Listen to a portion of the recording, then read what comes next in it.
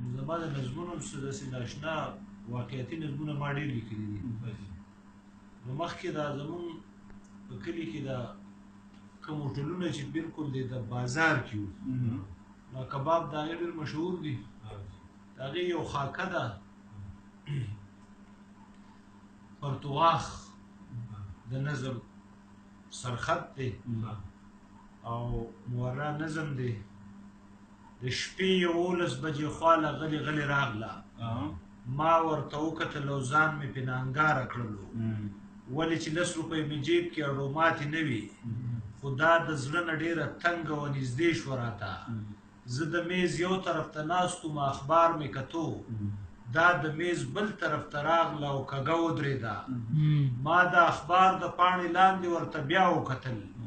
رنګ یې وهلی او بې دمه ښکارېده، غریبه په سورکو شونډو یې و هسې رپندی راغلی لکه چې پاڼې د ګلاب د هوا مخکې رپي. زه د ډېر وخت نه دا سپېره ښکلې جینۍ پېژنم چې لس روپۍ واخلي سړي له پرتو غاښ ورکوي.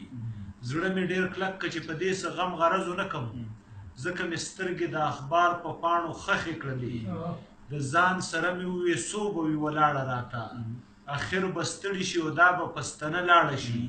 خو دې په زړه کې اوس دا رنګې قسم خوړلی چې به زما د خوا نه بل طرف ته لاړه نه شي اخر په وچو سرکو شونډو یې څه داسې ووې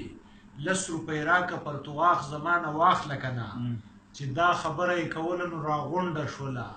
د زړه درزا یې د سینې نه لوپټۍ له راغله معصوم نظر یې لکه سوال زما لیمه ته راغی ټول غوږ غوږ شول چې زه به څه جواب ورکوم ما ورته وویې نه دا نې یور کوټې جینۍ تا ته ښه پته ده چې شوق د پرتوغاښ نه لرم خو چې د شپې یوولس دولس بجې تا ته ګورم ستا بې وسۍ ته ګورم ستا د زړه درزا ته ګورم ستا د دې وچو سرکو شونډو په خاطر مې قسم زما د زړه درزا ګوګل کې زلزله راولي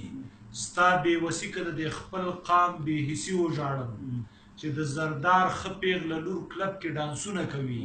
په موسیقۍ او په شرابو شوګیره تیروي د بوای فرند سره په ډیره مینه شپه تیروي خو د غریب لور چې ورکوټي وي لا پیغله نه وي هغه په نیمه شپه هوټل کې پرتوغاښ خرڅوي او بیا نو غله د پرتوغاښې په سکونډارو کې وړي چې پیغلتوب ناګاهو په پیغلتوب راولي دغه احساس مې لکه اور په تن بدن چوکه شي د بغاوت لمبه مې پورته ککرۍ نه وځي خو ځان له سوځمه والله چې هېڅ کولی نه شم